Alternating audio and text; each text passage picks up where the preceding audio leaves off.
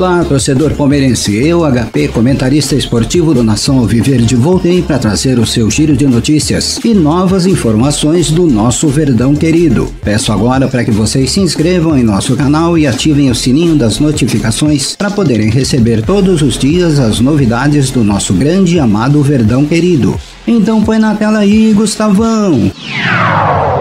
Eu já iniciei essa quinta-feira dizendo que esse comprometimento da nossa torcida de esgotar os ingressos para essa decisão contra o Atlético Galinácio só nos mostra o quanto acreditamos demais nesse time e estaremos com força máxima nas arquibancadas. Para fazer aquela diferença como todos nós estamos acostumados a fazer e essa confirmação toda vem deixando o nosso Abel Ferreira bastante animado, já que ele entende que ter a pressão vinda da nossa torcida faz um clima se tornar bem mais diferente, ainda mais pro nosso jeitão de jogar, que costuma ser bastante complicado para os adversários adversários na maioria das vezes. E alguns torcedores que não estão acompanhando esse desempenho do Atlético vão perceber que apesar deles terem contratado meio mundo, não é esse bicho papão com 27 cabeças como muitos mineiros costumam falar. Até eu mesmo que torço por esse clube também é meu segundo time. E respeito a todos eles mesmo assim, mas acredito demais no potencial desse nosso elenco que nesses últimos anos deixou uma marca histórica por futebol sul-americano, jamais vista aqui. E se tem algum torcedor que vai estar presente lá no Allianz Parque no domingo, então me digam aí.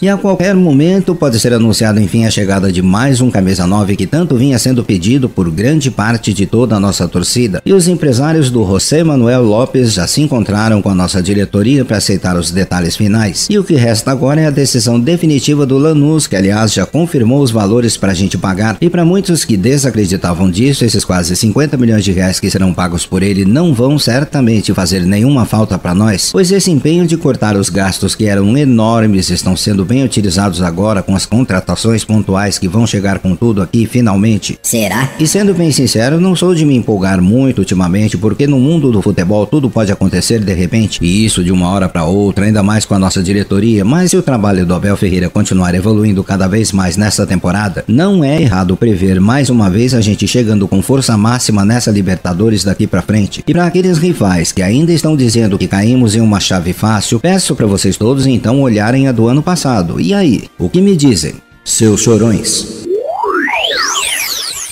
E a nossa imensa torcida terá o total direito de ficar bastante animada com esse segundo semestre, pois estamos vendo que as contratações vão chegar enfim nesse mês e serão nossas as grandes chances de fazer cada vez mais bonito, já que isso é sempre bom em um elenco que já é campeão, apesar de todas as dificuldades que já enfrentamos no passado. Independentemente de como será a nossa trajetória na Libertadores, é sempre bom lembrar do esforço que essa comissão técnica, elenco e diretoria estão fazendo para manterem o alto nível a cada partida e quem ainda acha que não estamos tendo tendo aquele alto rendimento que sonhávamos, é sempre bom ver os clubes de ponta do Brasil que só estão gastando fortunas de onde nem tem para tirar só para tentarem alcançar esse nosso trabalho invejado. E afirmo aqui que será difícil alguém nos alcançar em questão de planejamento, pois estamos seguindo em um caminho totalmente contrário ao efetivarmos a diminuição primeiramente dos gastos para depois então investir. Que clube, hein?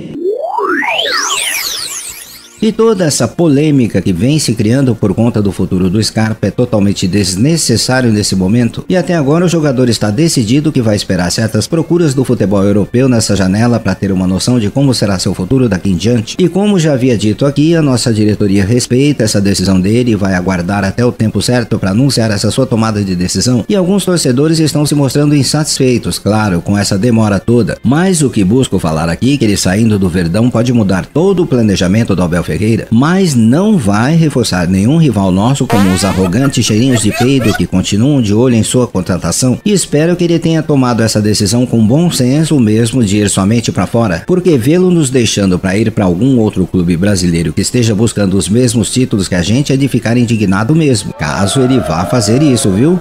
Se liga, Scarpa. E além de atacantes, o que vem se especulando bastante nessas contratações agora é sobre a chegada de novos volantes, que ainda seguem em pauta pela nossa diretoria, que entende perfeitamente que com essa lesão do Jailson vamos precisar de mais uma opção claramente, já que o Danilo precisa de um reserva imediato e nessas sondagens todas que o Barros vem fazendo, o nome do Wallace da Udinese e do Hernani do Parma estão sendo confirmados como uma das escolhas feitas pelo nosso treinador, que já deve ter uma noção de quem pode enfim chegar e já imagino que alguns torcedores estão se perguntando sobre o Fabinho e concordo com todos vocês de que ele merece receber mais chances sim, mas o que preciso dizer a vocês é que a nossa comissão técnica entende que ele precisa de maior tempo para assumir essa responsabilidade em uma das posições que faz tudo acontecer pro nosso time e de repente também pode de uma hora para outra destruir a carreira do garoto. Creio que deva ser isso o pretendido. E toda essa especulação do Alex Teixeira que está acontecendo agora em nossa palestra não é novidade alguma, já que venho trazendo a vocês há muito tempo que a vontade dele era de jogar em um clube referência como o nosso Palmeiras. E confirmo a vocês que nesse momento todos os turcos estão trazendo a novidade de que ele tem acerto com o nosso comando. Mas pelo que circula aqui no Brasil não tem nenhuma definição sobre isso e tenho que lembrá-los que o Abel Ferreira recentemente já deixou claro que seu foco é trazer reforços que estejam aptos a esse extenso calendário brasileiro, que é para poucos como como costumo insistir aqui, e o melhor a ser feito nesse momento é aguardar todos os anúncios esperados, pois está mais que claro que nessa janela de transferências, a gente será protagonista e vamos com força máxima para garantir o que for possível nas peças que faltam desse atual elenco. E só lembrando que esses investimentos certeiros estão sendo feitos com aquele lucro que tivemos nos últimos títulos. Já era mais que hora, ou seja, não vamos medir esforços para trazer os pedidos da nossa comissão técnica, feitos há bastante tempo, né? Pelo menos esperamos isso. E além da grande partida de domingo próximo, teremos um dia antes dentro da nossa arena um clássico bastante importante para o nosso time feminino, que segue na liderança fazendo a melhor campanha do Brasileirão desse ano. E a expectativa é de que o Allianz Parque esteja lotado também com a grande presença dos palmeirenses apaixonados por tudo que é do Verdão. E admito que esteja na torcida pra gente dessa vez trazer esse caneco pra cá, pois no ano passado, por detalhes, acabamos deixando isso passar e já venho falando isso aqui, que dentro da nossa diretoria o foco é o de tornar o nosso elenco feminino um dos melhores do Brasil e ir com tudo para essa próxima Libertadores, que também é nossa grande obsessão. E quero parabenizar a Bia Zanerato, a Andressinha e todas as jogadoras que estão fazendo parte desse grande projeto que tem tudo para despontar cada vez mais. Ainda mais com o apoio do novo patrocinador que chegou com grande força ao time feminino, concordam? Avante meninas!